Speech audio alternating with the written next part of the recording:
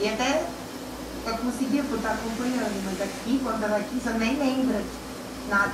Tudo que ele fala para que é real. É. Quando? Começa o BBB14. Começou, hein, gente? Agora sim, agora volta normal. Tá, Botar tá. fora. Será que é o cara tá tomando uma chamada? Claro.